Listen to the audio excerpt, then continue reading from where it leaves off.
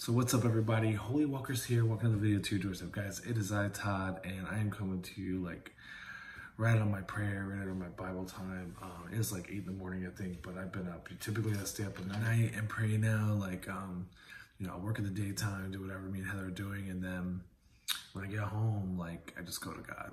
And, uh, and God is, uh, he is just constantly working on me. He's constantly trying to change me and make me who he wants me to be. You know, as a Christian, I failed, I've fallen, I've faltered, I've made mistakes, I've, you know, walked away from God, I've walked really close with God. And, um, you know, one of the things God's really been speaking to my heart is just about being more committed to Him and uh, even greater than I've ever been committed to Him before. And I see that happening with a lot of people. I see a lot of people uh, just talking about how God is talking to them and God is calling them closer to Him in our walk with Christ and our relationship with Him. And, um, you know, it's like, this is, like I said, I just came out of my prayer time. I'm still kind of in my prayer time, to be honest with you. And just, I had some really profound thoughts that I was like, while I was sitting here just praying and I was thinking, I was listening to something that uh, I just had this profound thought. And I wanted to share it with you guys. I wanted to share these thoughts with you. I wanted to share my heart with you and uh, let it resonate with you because I feel that God, just if He's speaking to me and He's He's revealing something to me, that I want to reveal that to you as well. And um,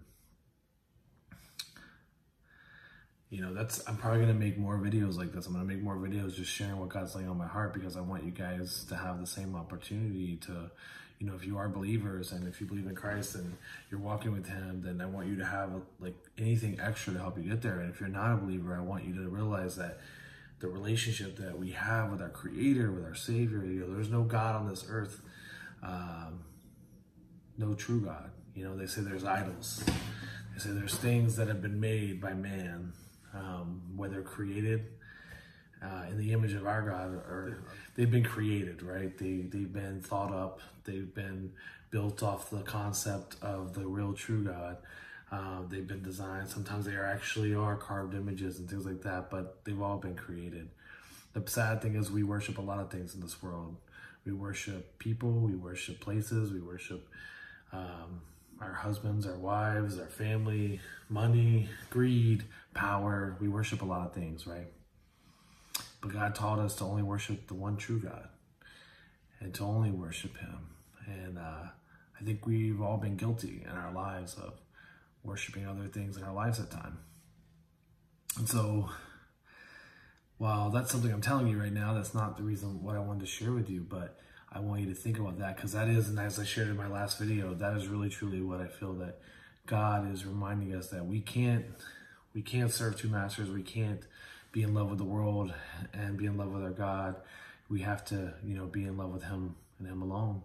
And uh, that may sound harder. That may sound hard. It may sound easy. It may sound difficult. I, I don't know. It depends on where you are in your life and what you've chosen to follow, what you've chosen to to love and and go after, and where your passions lie. And uh, that doesn't mean you can't have passions and things. It just means, you know, but but there's a but without God, you know, there's just like a vacuum inside of us. Like we need him in our lives. Like, and that's the whole act of sin entering the world and uh, was that it separated us from God. And when Christ died for us, he, he brought us back into relationship with God and uh, fulfilled, fulfilled like a beautiful thing that, that God had worked to do and worked through men to find a way to bring us back to the original creation. And he has such things planned for us in the future.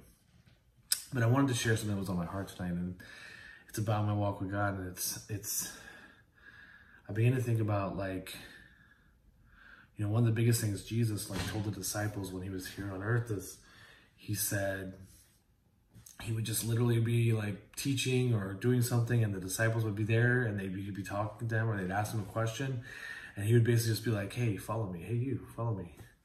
And, uh, you know, isn't that what he's asked all of us to do, right? To follow him. And uh, he's calling out to the entire world, right? Like, follow me, follow me, follow me. And he wants that none would not know this relationship that we can have with our Creator. Uh, that's so personal and intimate, and the, it's it's just an amazing, beautiful thing, right? And He wants everyone to have that opportunity. And so, I mean, I just hear that echo like right now in my spirit.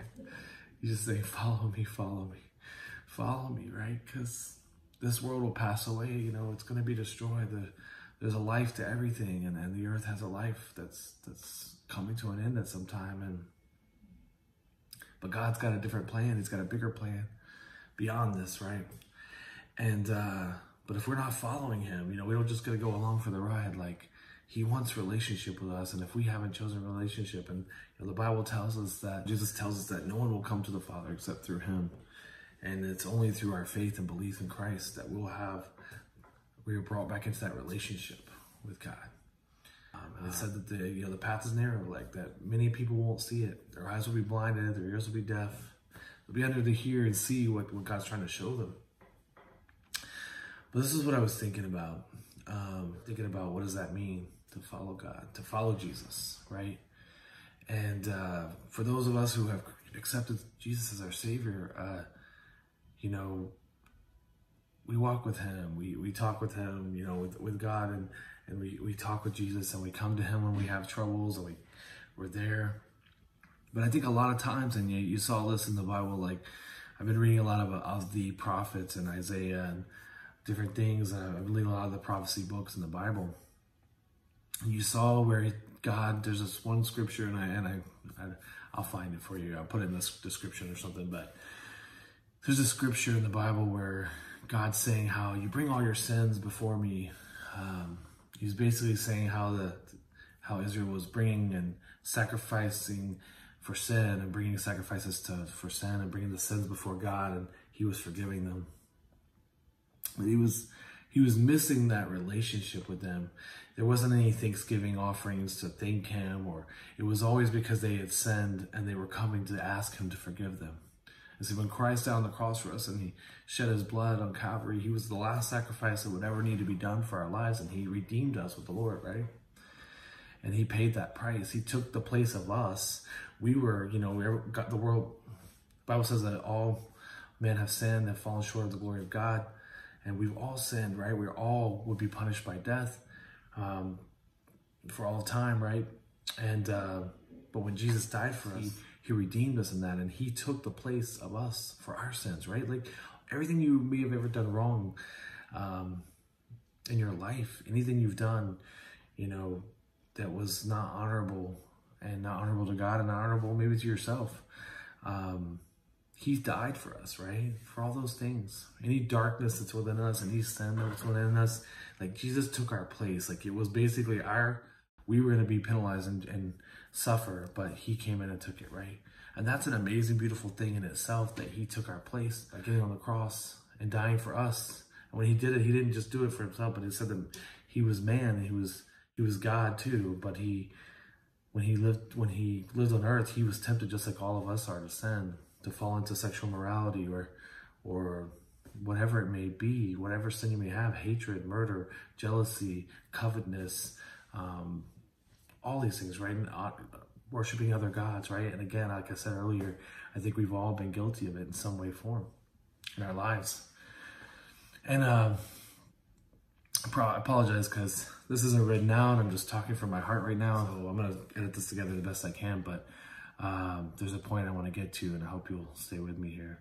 So God told us a couple of things, which are when Jesus was on the earth and he was teaching the disciples, there's a few things he mentioned. Things like one of the biggest things was he would say, "Come follow me." You know, there was actually like people that would come to him and be like, "How can I have the powers that you have? How can I?"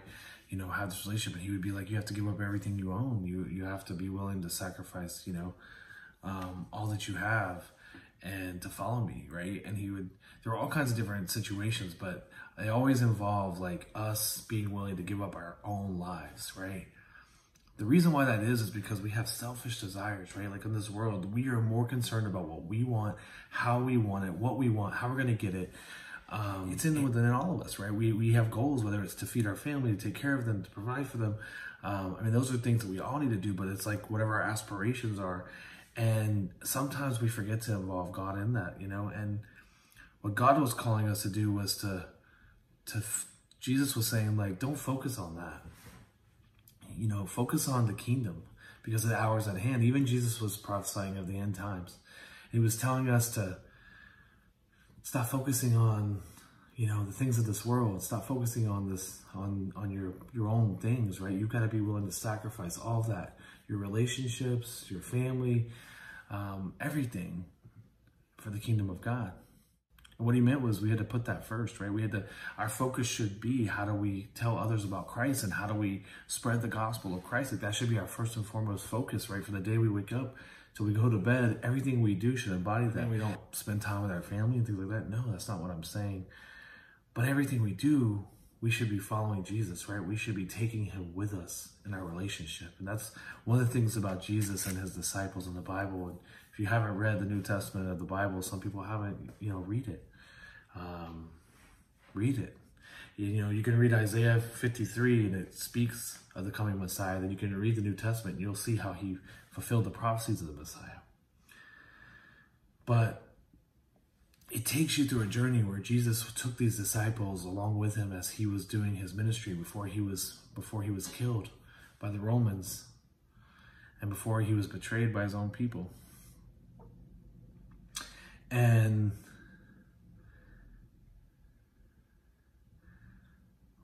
what was so beautiful about that relationship with the disciples and Jesus is they lived life together, right? Everything they did, everywhere they went, every activity they took on, they did it together.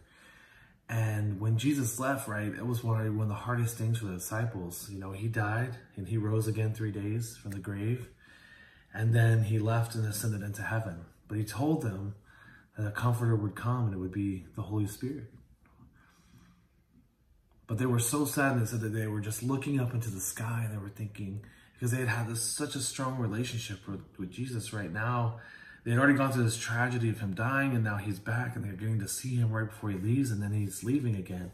It says they were just staring in the sky because, you know, he said, I'm going to prepare a place for you. He said that he would return one day. They're just looking in the sky, just hoping, is he going to come back soon? Like, when's he coming back?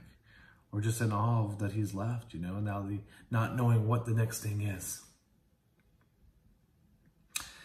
And then said that like two angels appeared to them and was like, hey, why are you guys staring up at the sky? Like, you got work to do. And that's kind of the thing, right? Like, he's not, when we live our lives here on earth, you know, Jesus said that because we are a relationship with him, and because we, he has brought us back into relationship with God, that anything we go to him for, anything that we ask him for, that we pray to him for, he goes to the Father, he goes to God about on our behalf. See, he's our he is our advocate in heaven. And I don't know about you, but maybe you've had relationships with people and you've been mm-hmm. in situations where you were having to advocate for someone. And I don't think you're going to want to advocate unless it's your job and you're a lawyer. You're not going to want to advocate for someone that maybe you really truly don't believe in, you know, even as a client, right? It's hard to, it's hard to, it's hard to stand up for someone you know is not a good person or someone that, you know, you don't really know well.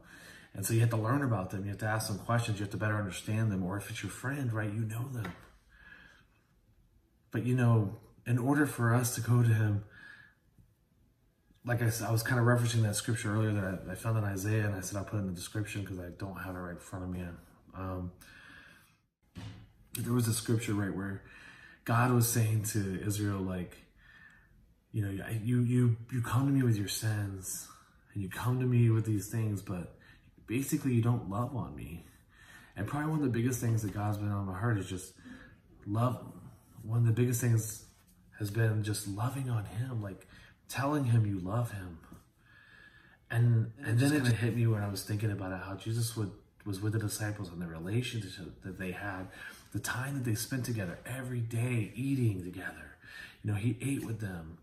He he walked with them. He took them places. He showed them things. And I think that's where we have to be led by the Spirit, right? That we are following the Spirit of God and doing the things that He wants us to do and accomplishing the things that He wants us to accomplish us and being led by the Spirit. When I say that, like, you know, whether we're at this grocery store getting food for our family and we see someone that's in need or maybe someone needs prayer or whatever it may be, see, we have to be led by the Spirit. And you may not understand that, and that's okay. But we have to involve God in every day of our, every part of our lives, right?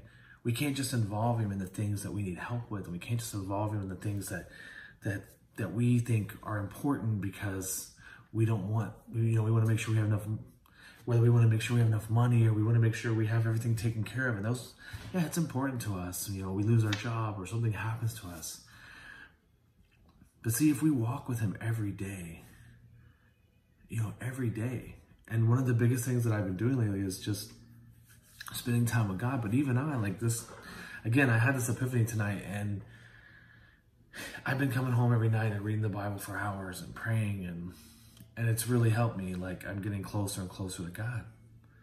But then I realize that I'm still not involving God in part of my life. Maybe there's little parts I'm not involving him. And I'm making changes and I'm trying to do what I can. But there's these little parts that I'm not involving God in. And I was like, God, what is that? So I started thinking about it. And I was like, if you're involving him in your daily life, every part of your life, every aspect, you know, then he he knows everything about you. And he already does, right? God knows everything. He sees our hearts. He knows what we're going through. He knows everything that we're going through. He knows what we need. But we're blocking him. I mean, think about this for a minute. There's a lot of things in our life that we're not letting God into, right? Like, think about those areas. Maybe it's certain people you hang out with. Maybe it's certain places that you go, maybe it's certain things that you do, and you're not letting God into that part of your life. And then why? Is it because there's something shameful? Is it because there's a you feel like that's a sin and you just kind of want to pretend like God doesn't exist in that moment? Like again, he sees you at all points in your life. See, and that's why sometimes when we're in that situation and we're, we're maybe we're deep in sin somewhere that it becomes so shameful that we don't even want to go back to God, right? Maybe we come to him when we really need something, then we remember to call out his name. See, the Bible tells us that in the last days, there will be people who cast out demons in his name. There'll be people that, that claim they knew him. But then when he'll look at them, he'll say, I never knew you because even though we know there's power in God's name, and even though we know that he exists, and even though we know there's a God, if we don't have a real relationship with him, he's not going to acknowledge us. The Bible says that if we don't acknowledge him here on earth, that he won't acknowledge us in heaven. That's that's heavy, right? I mean, it's deep and it's heavy. And so I started thinking about, oh, this is what I'm missing. You know what I mean? Like, this is what I'm missing. Is that I've been involving God in my life, but I've not been taking him into every little instance of my life and truly being led by the Spirit. I was writing some things down. I'm trying to see if I missed anything here, but that's where I kind of got it. Was just, am I am I putting God in every part of my life? Are you? Are you taking him into every part of your life from the moment you wake up? And I like you might think so, right? But then you get into an argument with someone, you get mad at them, you kind of have an attitude with someone at work or when you're out somewhere in traffic, right? Like that never happens to me. you know it does, right? I mean, we've talked about it before. And does that mean he wasn't with us? No, but it means that like in that moment, like were we truly being him or like if I was involving him in more of my life?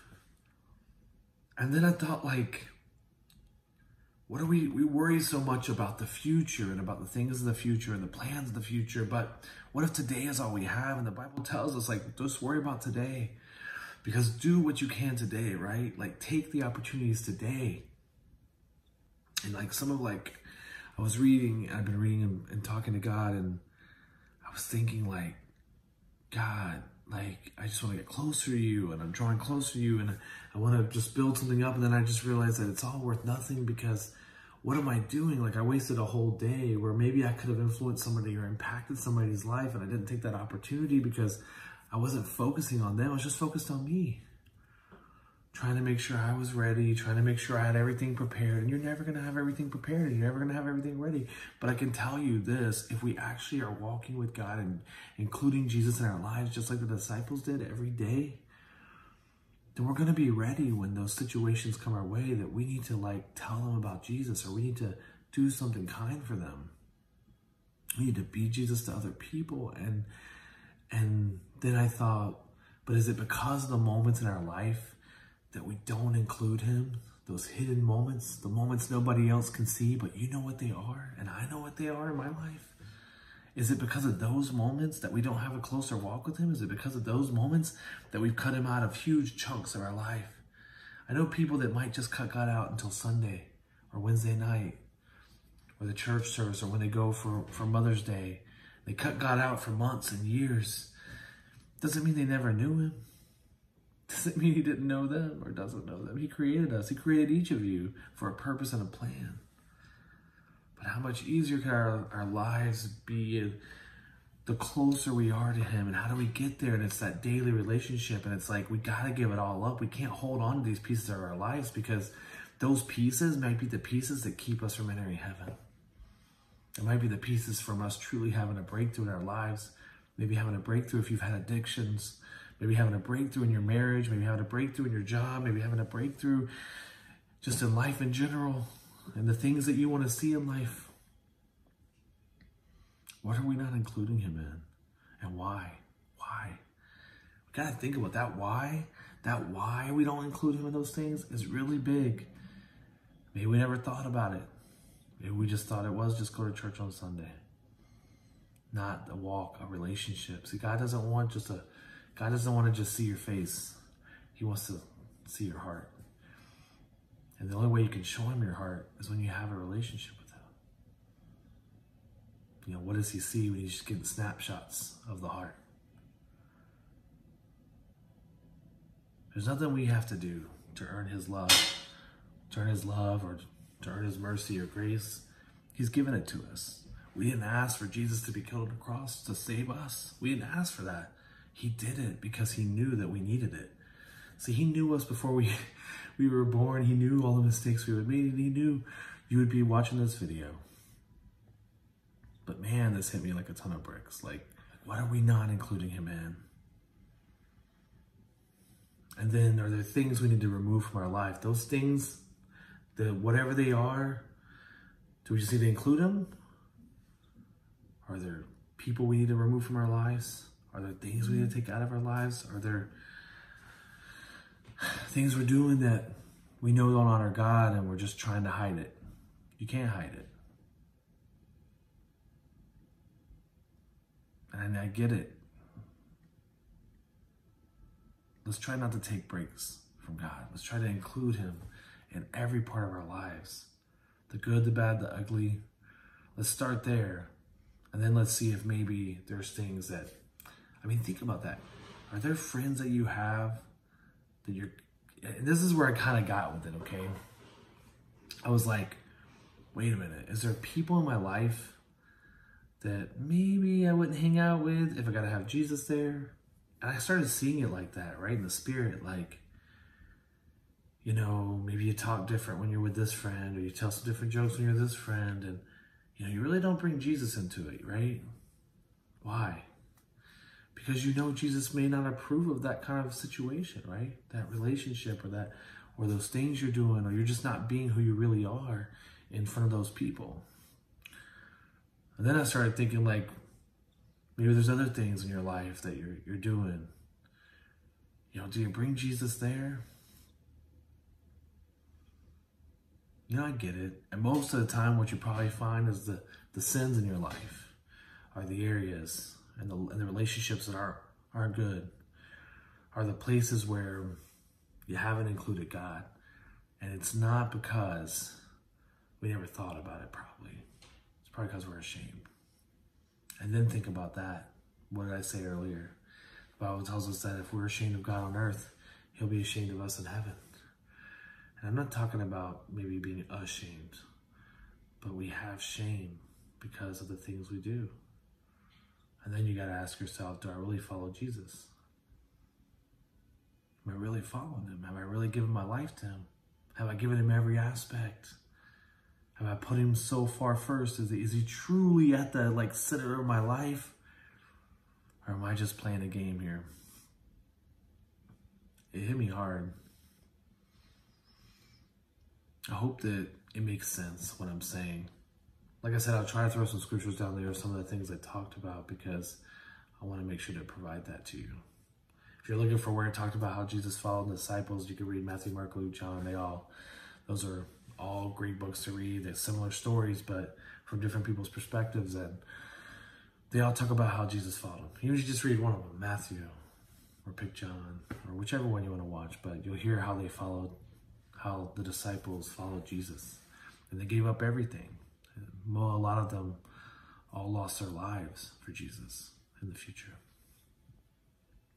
Are we willing to give up our lives? So it's, it's tough, right? But we may have to. And uh, I think uh, we got to be willing to do everything we can to make sure others know about him. Because uh, it's, it's a tough world out there. And I don't know how to make it without him in my life. And, I, when I think about what the future holds, you know, God's God shared a lot with us of what will come in the future and what we have to do to be right. And uh, if it was right now, I don't know. But uh, I think tomorrow is going to be another day for me to walk closer with Him and, and begin to remove more of those things out of my life. Begin to find a closer walk with God and a closer friendship. And uh, He's revealing so much to me. And it's all about spending time with Him and really truly involving Him in every aspect of your life. And I got a new plan tomorrow. And I'll continue to share what I can as we go and as God shows me things. But I hope this uh, I hope this message kind of opened your eyes to something different in your life and maybe to the relationship you want to have with Christ. And I want to say that if you don't know Christ as your Lord and Savior, if you find yourself in hopeless situations where you're kind of worried about the future, I can tell you I have peace, you know, in my heart because I know that I've given my life to the Lord. And it gives me peace. And I know that no matter what happens, if I was struck down tomorrow, that I will live in eternity with him. And if you can't say that for yourself or you just don't know him, but you need that kind of peace in your life, so Jesus told us he was the peacemaker. He said that when he was going, he was going to send a gift to us, peace. He sends the Holy Spirit and it gives us peace. But if you don't know, I just want to say a quick prayer with you. In order to have salvation, all you have to do is to confess with your mouth that Jesus Christ is the Son of God and that uh, accept Him into your heart. And that's literally what it is. You know, when you accept Him in, He's going to come into you and begin to make you into a new creation. What does that mean? Like, it means He begins. It's like when His when you activate something in your life and in your heart. When you do that, when you accept Christ, you activate something inside of you that it begins to change you in, in ways that you, you'll notice you, you can't go certain places, you can't do certain things. You begin to have this conviction in your heart and you know that there's something different in you. And it just starts with that, simply accepting that Christ was the Son of God. Now, many people have accepted him in their lives. There's thousands of Christians that, that believe in him. But keep in mind, maybe they're not really including him in their whole lives, right? But it's simply a relationship, no different than any other friendship that you've had. And just every day, you know, going to God and, you know, saying, Today, Lord, use me however you want. I'm yours. And that may just be, like I said, encouraging someone that you run into, telling people when you have the opportunity about Christ. That's up to you how much you want to give. But I want to give it all. And so I just want to say a prayer with you, simple as this. You just, you know, the Bible tells us if we confess our sins to him, he is faithful to forgive us our sins and cleanses us of all unrighteousness. Let's say a prayer. Dear Heavenly Father, Lord, we confess our sins to you right now, Lord. You know every dark secret in my heart, Lord God, anything I've ever said or done that is not acceptable in your sight. And Lord, I just ask you, God, if there are people out there right now who are needing peace in their lives and they're needing something different, and maybe they've rejected church most of their lives, but they they know that there is something that they need and they've seen some hope maybe in some friends or family members that, that have the Lord in their lives. And they're willing to just say, Dear Heavenly Father, forgive me of my sins. I messed up. I screwed up. The Bible tells us that when we when we ask Him to forgive us and we say, confess that Jesus is Savior, we, we say, God, we know that Jesus is the Son of God. We want you just to forgive us our sins. It says that, you know, he's going to remove it as far as the east is from the west. It's like hitting the delete key on the keyboard and everything that was ever bad that you ever did has been deleted now. And it's all forgiven and you start anew. And that's a, that's a beautiful thing. Think about the weight and the shame and the, the guilt and all the things. Sometimes it takes a while just to forgive yourself, but God forgives you just like that the moment you say that prayer. Dear Heavenly Father, I pray that you will open their hearts, Lord God, open their minds, Lord God, and begin to speak to them in a mighty way, Lord God. Remove that veil. The Bible tells us there's a veil in our eyes until we come to know Christ. And once we do, we can see things in the Bible that we never saw before. We can hear things from God that we never heard before, Lord. And I pray that you open their hearts, open their eyes, and open their minds and allow them to see things you have planned for them, Lord. God, I thank you, Lord. If there was even just one person, Lord, I know that it was worth just talking about this today. And I ask you to forgive them their sins, Lord. Watch over them and protect them. And if there is anybody who thought about it but didn't do it, Lord, I pray that you continue to work on their heart. For those of us who've already accepted Christ as our Savior, I pray that you will continue to be diligent in your walk with Him. And I hope that this message helps you just a little bit. And I am praying for you. And I just want to say a prayer for everyone out there that's watching this video. Dear Heavenly Father, I pray right now, Lord God, that if you are battling sin, if you are battling things in your life that you cannot get, you just seem like you can't get rid of, Lord. I pray right now against every spiritual bondage of the enemy that would be coming against you, whatever demonic entity might be causing this addiction, these things, whatever it is, Lord, whether it's sexual morality, whether it's addiction, whether it's anger, whatever it is, Lord. I pray right now, Lord, we come against every principality. We bind the strongman. We bind every spirit of the enemy right now in the name of Jesus under my voice and anyone that is there, whatever you've been going through, I pray right now that God will release you of it in the name of Jesus. I command any demonic entity to leave, to leave you alone, to quit bothering you, to quit harming you, to quit trying to entice you into sin. In the name of Jesus, we break every curse over your life in the name of Jesus. If there's a family curse, if there's anything that's in your life that the devil has tried to hold over you in the name of Jesus, I rebuke it right now. I rebuke every spirit of the enemy. The Bible tells us that whatever we bind on earth will be bound in heaven, and we bind the principalities in the name of Jesus that have come all across. See, see, it's all demonic entities that try to lead us into sin, and they try to pull us into sin, and those things, we let them into our lives, and they can oppress us, and they can possess us, and they can hold on to us. But when we rebuke them, and you have to say it too, just say, I rebuke you in the name of Jesus. I rebuke you in the name of Jesus. Stay out of my life. You cannot harm me. I am a child of God. I am created in his image and I am and I am filled with his spirit in Jesus' name. And when you do that, every those things are going to be broken right now in the name of Jesus. They're going to be broken.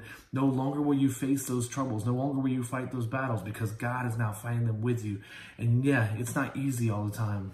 And you may have things that you're going to be tempted back into, but I just tell you to keep saying that anytime you feel tempted, read the Bible, read the Bible. Just feed yourself on the Word of God. When you feed yourself on the Word of God daily, it will help you to overcome sin. I know because I've I've been in those situations and I, I read the Word of God and that Word of God is just it's just changing me and changing me and changing me. We got to get closer and closer to Him. We can't go teeter tottering back and forth. We got to once and for all be free in the name of Jesus. And our God is powerful and He is able to break every bondage in your life. And I pray that God is blessing you today. And I pray that God goes with you. And I pray that we all walk a little bit closer with Him and maybe open Him up to a little bit more of our life today. I love you guys. Thank you for watching. I hope you enjoyed this video. More videos to come in the future. Also, I know that Con wants to make some videos. So stuff is happening in our lives. I can't wait to tell you guys more about it, but I gotta go to bed. It's like 8 in the morning. This is normal for me, right? I, you know, I went from being out looking the videos, something crazy, to uh, staying up praying that the demonic forces that are coming against us, our families, and our culture will no longer be able to do so. I pray that you'll do the same. I love you. Keep me in your prayers always, and I will continue to pray for you as well. In Jesus' name. If you have prayer requests, or anything you want to tell me, you can throw it down in the comments um, anytime or send me an email. I also have a new email. It's holywalkersforchrist at gmail.com. Feel free to email me there or uh, hit me up on the one that I had before. Either way, I have both of them. So I love you guys. Appreciate you.